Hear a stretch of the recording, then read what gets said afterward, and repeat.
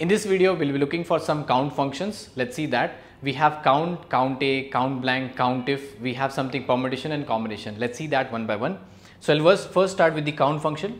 Now if you see I have different type of data on the screen. I have date, number, decimal number and then I have uh, boolean values. Then I have the error messages and some text. So what if I want to count the numbers? I'll count the numbers using this function as count from A2 to A7. Let's see what answer I'll get is in this entire A2 to A7 till here, if you see there are three type of numbers given here. One is this uh, A3 number, second is date which can be counted as a number.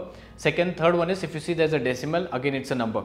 So how do I get it result? So I'll just type here in this place equal to count, right? And I'll select A2 to A7. So imagine and you can understand what things it will be accepting. So the text it will not consider the formula, the error message and the boolean value, only the first three it will accept and give me the answer. So answer will be given as 3.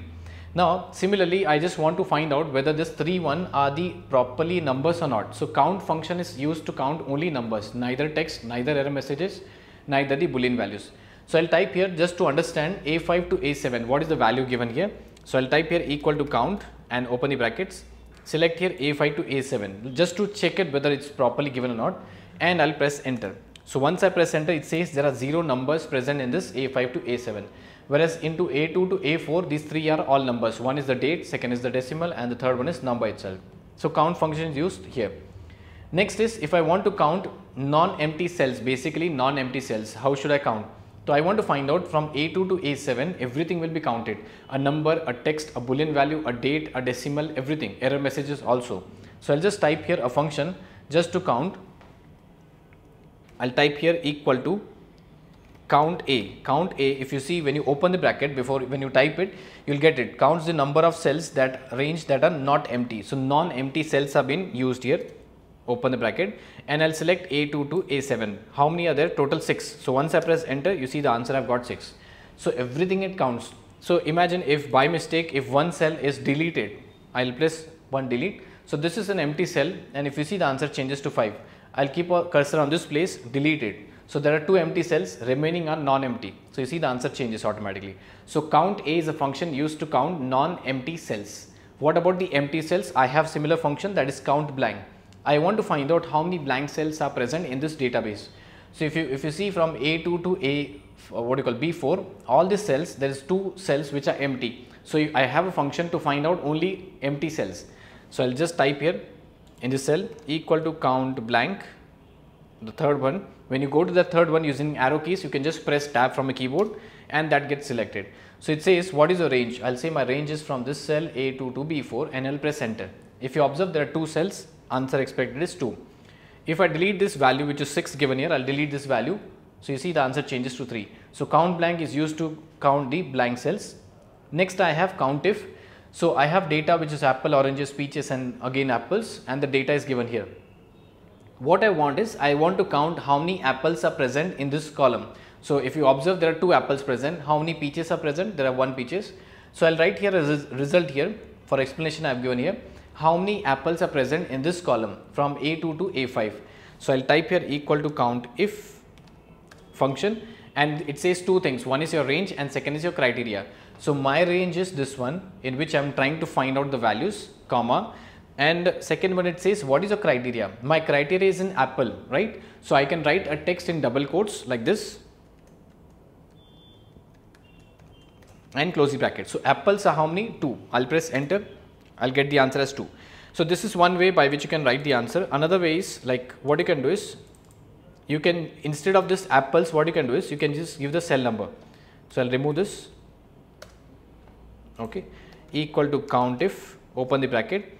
That's my range comma and this is my cell number. That's my criteria. So i'll just give this cell number as my criteria and i'll press enter. So once i press enter i'll get the answer as 2 similarly one more example i'll just show. If you want to find the peaches how many peaches are present here in this place? There's only one peaches. So i'll just type here equal to count if it says again what is your range this is my range i'll select the range comma what is your criteria my criteria is peaches comma either you write in double quotes or you can select the cell number. So I'll just select the cell number peaches and I'll close the bracket. So this is how I'll get the answer as 1 enter. So I've got the answer as 1. So now if you keep on changing if I change here some apple instead of oranges if I type here apples enter. So, you see the count has changed automatically 3. So, count if is used to count based on the condition. So, therefore, the name is given as if count if right. Next I have something known as permutation combination mostly it is used in the mathematical problems how we can solve it. For explanation for people who are looking for the first time you see the equation for permutation is that is the n factorial upon n minus k factorial. So, if I insert some value as and here is the example given total number of objects are how many 4 and number of objects in each permutation are given as 3. So, if I keep on calculating using pen and paper it takes longer time. If I use with the help of this function that is a permute I can get the answer as 24. So, how do I write this function in this Excel?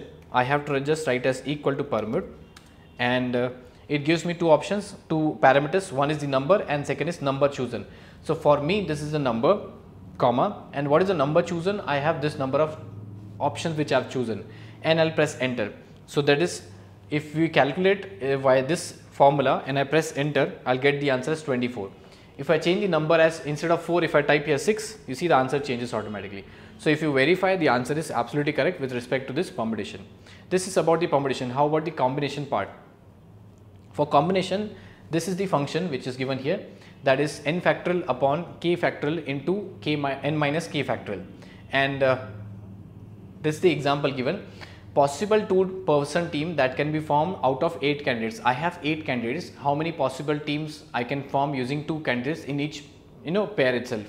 So, for that how do I use it? I have to use this function that is the combination equal to combination equal to CO, COMBIN open the bracket and it says 8 team of 8 and I want size of 2 in each team. How many different types of teams I can make? And I'll press enter. So I'll get the answer as 28. So similarly, if you keep on changing the you know values, the answer will be correct if you verify with this help of this formula. That is for combination n factorial upon uh, which is says k factorial into n minus k factorial.